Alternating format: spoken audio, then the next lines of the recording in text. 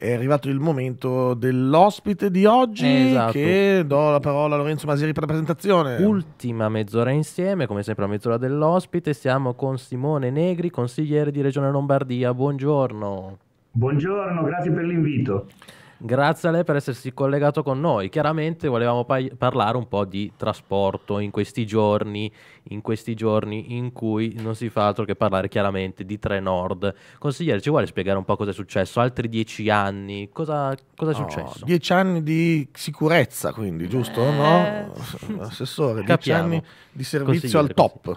Beh, insomma, la fotografia che si potrebbe fare di Trenord è impietosa. Proprio due giorni fa c'era un bell'articolo in cui veniva raccontato il calvario di tanti pendolari che utilizzano la linea Milano-Mortara, che è sicuramente la linea peggiore della Lombardia, però è una delle cinque linee peggiori d'Italia.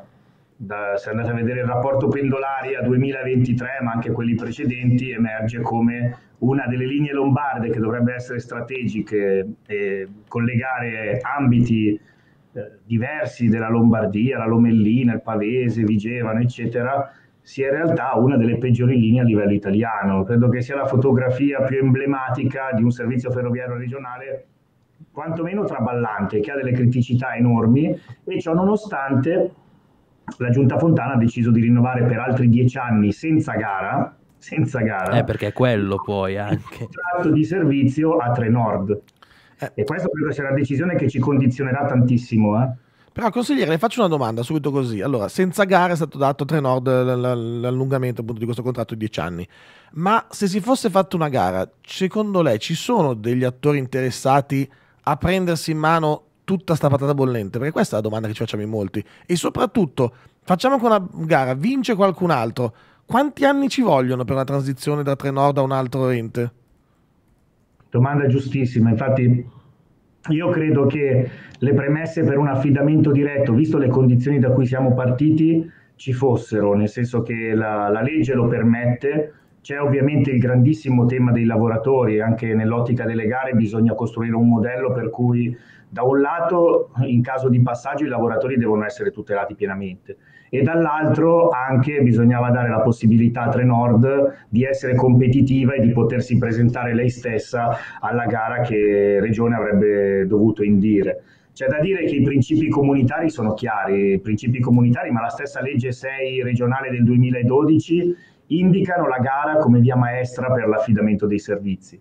Eh, si è arrivati assolutamente non pronti. È vero che c'è stata la pandemia, ma ci sono già state delle proroghe successive. In questi anni non si è fatto nulla per apparecchiare la tavola per preparare questa gara e ne stiamo pagando le conseguenze, ne pagheremo a maggior ragione in seguito. Eh, sull'appetibilità, l'appetibilità c'è, nel senso che se non c'è l'appetibilità del servizio ferroviario regionale, che è la principale regione d'Italia, con Milano, eh, credo che ci sia, con gli aeroporti per dire, no? c'è anche un progetto, questo sì importante, di sviluppo della rete, ad esempio verso Orio il Serio.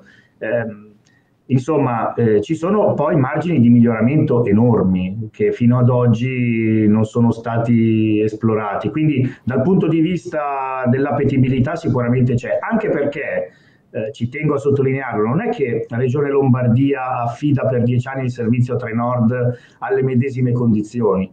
No, lo affida da un lato prevedendo sulla carta un aumento dei servizi nell'ottica del 20%, servizi che però saranno forse da realizzare negli anni successivi e parallelamente però pagando fin da subito un corrispettivo fisso che è di 97 milioni di euro superiore a quello che Trenord percepiva prima dalla regione. Quindi voglio dire, non mi pare che a Trenord vada così male, non siamo in una dinamica sicuramente non di concorrenza, ma neanche di rischio di impresa particolarmente accentuato. Ecco. Ma infatti, consigliere, lei ha scritto su- sui social chi non vorrebbe essere Trenord e fa, e fa alla fine un, um, un paragone molto chiaro. Lo, lo leggo velocemente: è come se Trenord fosse un'impresa che opera nel vostro condominio, sarebbe incredibile, sarebbe, sarebbe come se a fronte di un servizio fatto di ritardi, mancanze, rendimento scadente, il vostro amministratore decidesse di rinnovare l'incarico per altri dieci anni con nessun'altra Eh, sì. offerta valutata. Sì, sì, è sì, sostanzialmente questo, che magari è ancora un po' più comprensibile. Eh sì, ma così, ma soprattutto io poi consigliere, eh, io gli voglio bene a consiglieri come, come Simone Negri, perché sono anche ex sindaci, no? Quindi sanno cosa vuol dire Eh, ma un altro ex sindaco è anche il presidente della regione, cioè non, non siete riusciti tra ex sindaci a trovare una quadra? Allora, la dico grossa, io non ho idea fino a che punto il presidente di regione abbia contezza della vicenda di Trenord. Presidente di regione, gli assessori che sono della partita, nel senso Ma che... perché non prendono il treno o perché non... non... mi faccia capire? No, un po' tutte e due, secondo me anche perché, ed è uno dei temi principali che stiamo affrontando in questo primo anno di legislatura regionale, almeno per quello che mi riguarda il nuovo mandato, è che ci pare che manchi la visione, ci pare che manchi qualcuno che complessivamente ha in mente dove si sta andando. No? Eh, si procede, come dicevi te, come diceva, dice, ci diamo del lei o del tu, non lo so. Come vuoi.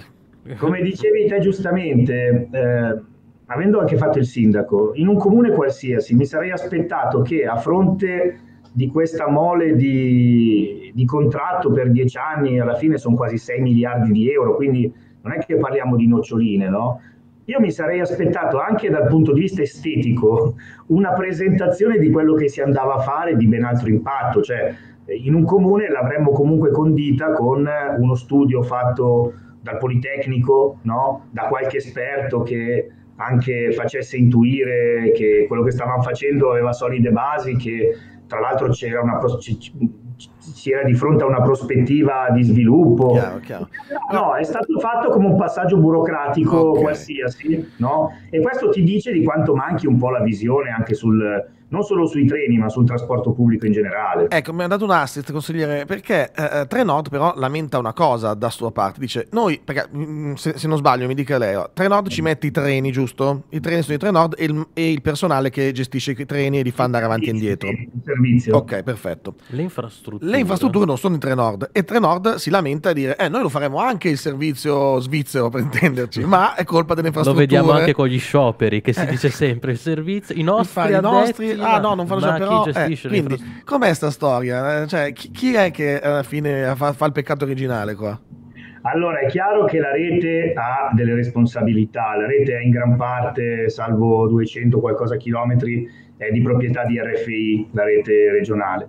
Però, però ehm, se andiamo a vedere linea per linea quali sono le determinanti dei disservizi, l'impatto della rete è solo minoritario, cioè Trenord, vi faccio un esempio, si sta, eh, sta cambiando la flotta dei treni solo negli ultimi mesi, cioè noi abbiamo treni in servizio che hanno la mia età, del, dell'80, cioè abbiamo treni che hanno 40, 43 anni che sono ancora in servizio, non mi pare eh, sia il massimo per la prima regione d'Italia, no? E poi abbiamo dei problemi strutturali su cui però non è stato ancora messo mano, voglio fare un esempio. È chiaro che negli orari di punta il nodo di Milano è una questione, è una questione di assoluto rilievo ed è difficile per tutti da affrontare però non lo si è fatto e, e al, al, mm, come dire, sia indietro, guardando indietro che guardando in avanti, ci sono una serie di errori prospettici che stanno minando non solo il servizio regionale, ma proprio tutto il trasporto pubblico. Vi faccio un esempio. Noi crediamo che sia una follia andare oggi ad investire 400 milioni di risorse pubbliche uh-huh. per i treni ad idrogeno sulla tratta Brescia-Iseo-Edolo. Che è un servizio ovviamente anche poi di montagna, perché, quindi anche importante, però che sposta quotidianamente 5.000 persone e che a seguito dell'introduzione del treno ad idrogeno su una rete marcia, e lo dicono i periti che la rete è marciscente, ehm, su una, quindi su una rotaia che sarebbe da, da, ribaltare, da rifare completamente, ma questo non è nel, nei radar. Ecco, dopo l'avvento del treno ad idrogeno sposterà ancora 5.000 persone. Allora, mh, qual è il contributo? Tra parentesi, con un aggravio di spesa corrente di circa 24 milioni di euro in più all'anno, no? 24 milioni di euro in più che andranno sottratte ovviamente alle risorse complessive del trasporto pubblico. È un problema. Chiarissimo, allora mh, mm, consigliere, la, la, teniamo ancora un attimo qua. Prima, però, ci prendiamo un treno. Perché, eh, fatto, ah, eh beh, sì, okay. sì, sì. Ci Beh, prendiamo un treno tutti gancio. insieme. Un treno che porta a destinazione Paradiso con Gianluca Grignani.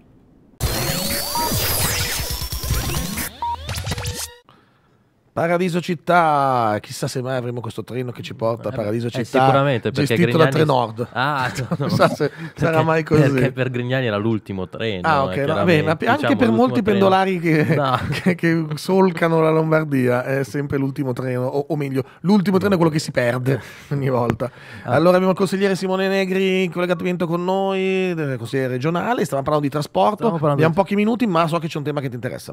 Sì, eh, poi parliamo un attimino di soldi, però noi facciamo rassegna stampa e praticamente ciclicamente ogni settimana una notizia, due, tre sulla metro tranvia di Rimbiate la troviamo sempre, esattamente come il prolungamento dell'M1. Ci vuole aggiornare un po' questi soldi, questi soldi, visto che se ne parla sempre. Arrivano, non arrivano? Consigliere, cosa ci dice?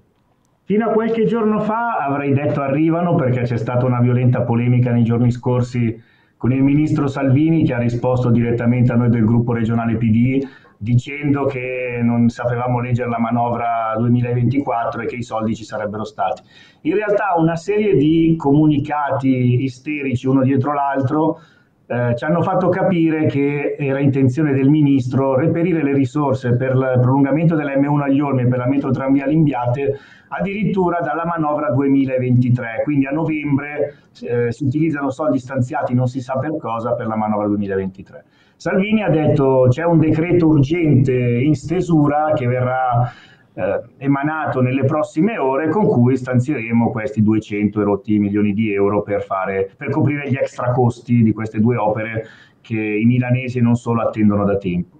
Bene, ad oggi però non sappiamo dove sia finito il decreto. E questa cosa ci preoccupa un po', nel senso che sembrava cosa fatta, c'era anche un comunicato ufficiale del MIT, però per quanto ne sappiamo noi il decreto non è stato ancora pubblicato. È vero che passa un po' di tempo, ci sono i controlli, le ragionerie e via discorrendo, ma considerato che non sarebbe la prima volta che le promesse di Salvini poi si rivelano vane, qualche preoccupazione insomma ce l'abbiamo, mentre va avanti alla grandissima il ponte sullo stretto, c'è questo tema che crea fibrillazione in tutta Italia, no? Ci sono opere qua in Lombardia, a Milano, che, a cui mancano, tra virgolette, pochi, poche risorse per poter partire proprio per la questione degli extracosti, ma abbiamo progetti già definiti e sappiamo quale sarà l'impatto sul territorio, invece si pensa di destinare 11,63 miliardi di euro per il ponte dello stretto nel 2033. Sì. Eh, quei soldi lì sul del ponte dello stretto bisogna Eh, capire. sì, sì, magari facciamo il ponte sul lago di Edolo, così ci facciamo passare i, i treni ad idrogeno. ricordiamo Siamo anche tutti gli, insieme gli facciamo. extra costi. Ieri il sindaco. Per, eh, dobbiamo fare il nuovo ponte tra Paderno Dada e Calusco per eh, i treni, che è un tema invece importante, il collegamento Bergamo, Milano-Bergamo, Bergamo-Milano, come volete. Eh sì, sì, no, sappiamo che è un tema molto, molto importante quello e eh, spesso volentieri vediamo che la- an- anche lì la linea insomma eh, zoppica un pochino spesso volentieri. Eh, consigliere, la dobbiamo salutare, siamo arrivati alla fine in realtà, quindi io la, la ringrazio per quello che ci ha raccontato, ci sarebbero tanti altri temi, su tutti uno che mi, mi incuriosiva, il fatto che arrivano adesso 28 milioni di euro eh, a Regione Lombardia, che tra parentesi ho pensato non è che ne sia neanche tantissimi, cioè 28 Sì, milioni non è che ci fate chissà No, quanto. Prima ho detto un sacco Eh, perché Sì, sì, no, dirlo così Per noi sono tanti, per una regione forse pochi, ma soprattutto di questi 28, 18 vengono, ce, ce li prendiamo noi di Milano però. Sì, allora il fatto che i 18 arrivino a Milano è normale perché eh, sono i criteri di ripartizione in virtù dei costi standard che hanno le varie agenzie del TPL. Però eh, eh, avete detto bene, cioè, il trasporto pubblico locale in realtà vive di 670 ormai milioni di euro e eh, è in difficoltà perché mancavano diversi soldi. Questi- queste maggiori risorse sono regionali solo per 3 milioni, perché Ok. in realtà lo Stato ha stanziato 32 milioni come saldo rispetto al Fondo Nazionale Trasporti, quindi è inutile che l'assessore Lucente si vanti di aver distribuito risorse alle varie agenzie del TPL, a parte che facendo l'amministratore pubblico, facendolo a novembre, impedisci qualsiasi tipo di programmazione lungo, lungo l'anno, no? Cioè, adesso non è che gli si dà i soldi per fare i servizi a Natale. E poi il tema è che sono soldi dello Stato, anzi c'è un piccolo giallo anche qua perché in realtà arrivano 32 milioni, Regioni Lombardia, dei 32 ne stanzia le agenzie 24, più 3 che dice sono soldi nostri per fare il beau geste e far vedere che ci mette un pezzettino anche lei, però 8 milioni di quelli che arrivano rimangono alla regione, non sappiamo come mai. Ah, ok. Vabbè, allora indagheremo anche su questo, meglio ci, ci, ci, dirà lei se trova questi 8 milioni da qualche parte in giro lì, ci dica per cosa vengono utilizzati, va bene, grazie. Grazie mille al consigliere Negri. Grazie allora. consigliere. Grazie a voi, buona giornata, buon lavoro. Buon lavoro, buon lavoro al consigliere.